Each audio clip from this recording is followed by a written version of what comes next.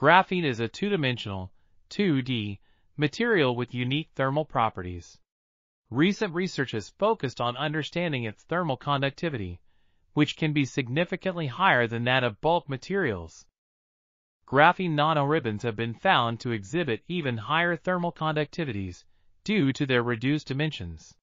These findings suggest that graphene could be used in thermal management applications such as cooling electronic devices or improving the efficiency of batteries.